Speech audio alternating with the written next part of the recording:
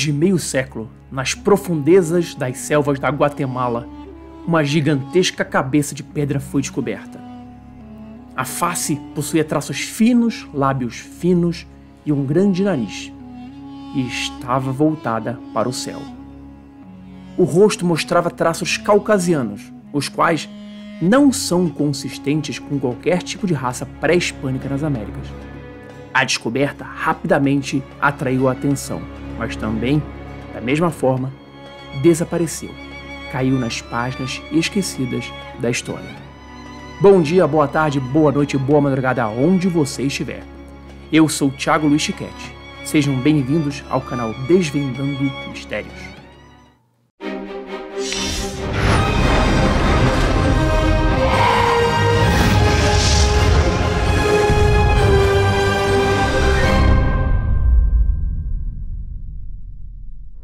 Notícias da descoberta primeiramente emergiram quando o Dr. Oscar Rafael Padilha Lara, um doutor em filosofia, advogado e notório público, recebeu uma foto da cabeça em 1987, junto com uma descrição de que a foto havia sido tirada na década de 1950 pelos proprietários da terra onde ela foi encontrada, que estava localizada em algum lugar na selva da Guatemala. A foto e a história foram publicados num pequeno artigo no jornal chamado Unsciented Skies, que foi lido pelo então conhecido explorador e escritor David Hatcher Childress, o qual procurou descobrir mais a respeito da misteriosa cabeça.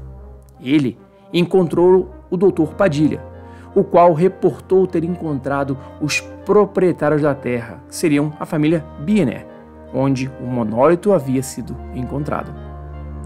O local ficava a 10 quilômetros de um pequeno vilarejo em La Democracia, no sul da Guatemala. Porém, o Dr. Padilha disse que ficou desesperado quando chegou ao local e descobriu que o sítio arqueológico havia sido destruído. Ele teria sido praticamente destruído por revolucionários há mais de 10 anos. Dr. Padilha e sua equipe chegaram tarde demais. Por incrível que pareça, a cabeça foi usada para a prática de tiro ao alvo pelos rebeldes anti-governo. Isso desconfigurou totalmente a estátua.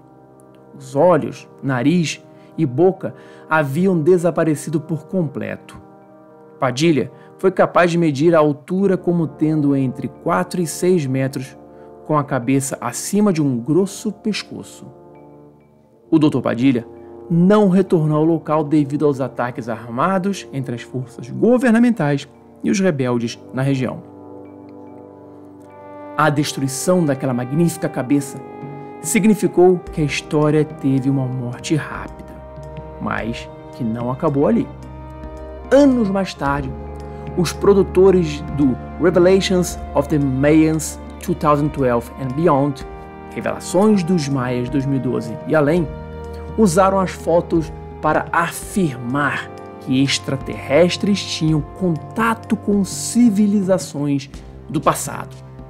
O produtor do programa, Raul Julia Levy, publicou um documento escrito pelo arqueólogo guatemalteco Héctor Madia, que dizia: Certifico que este monumento não apresenta nenhuma característica dos povos Maia, Nahuatl ou Mec, e nem qualquer outra civilização pré-hispânica.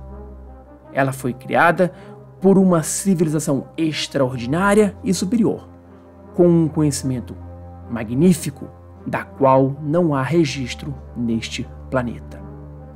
Contudo, longe de ajudar a causa e a investigação do monólito, esta publicação somente serviu para ter um efeito oposto, jogando toda a história nas mãos de uma audiência ferrenhamente cética que pensou que isso tudo se tratava apenas de um golpe de marketing para a divulgação do documentário. Até mesmo a própria carta foi colocada em dúvida com algumas pessoas dizendo que ela não era genuína. Mesmo assim, parece que a cabeça gigante realmente existiu.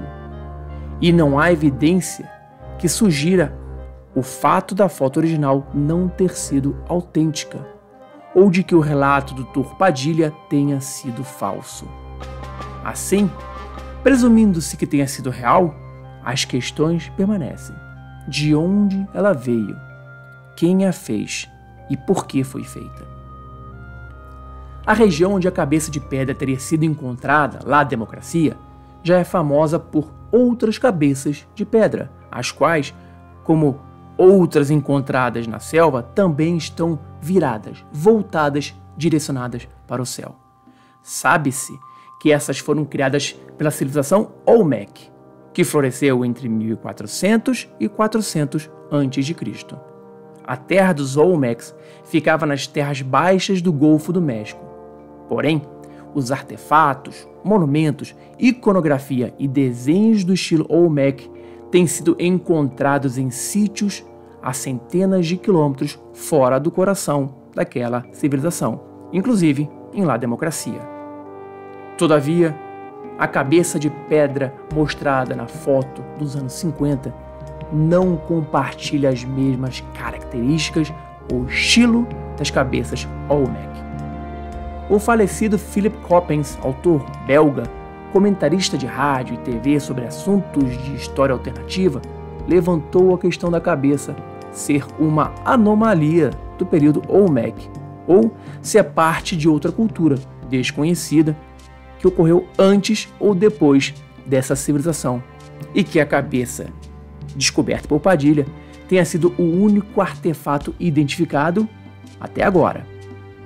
Outras questões têm sido postuladas, inclusive se a estrutura foi somente uma cabeça ou se havia um corpo abaixo dela, como as estátuas na Ilha de Páscoa, e se a cabeça de pedra estava conectada a qualquer outra estrutura da região. Seria interessante saber as respostas dessas perguntas, mas infelizmente parece que a publicidade ao redor do filme Revelations of the Mayans 2012 and Beyond somente serviu para enterrar a história ainda mais. Talvez, quem sabe, um ambicioso explorador irá dar continuidade à história e investigar mais profundamente para descobrir a verdade deste enigmático monumento. E quem sabe, não estejamos diante de uma nova civilização ou mesmo reescrevendo a nossa própria história. Mas e você? O que você acha? Deixe a sua opinião nos comentários abaixo. Um abraço e até a próxima.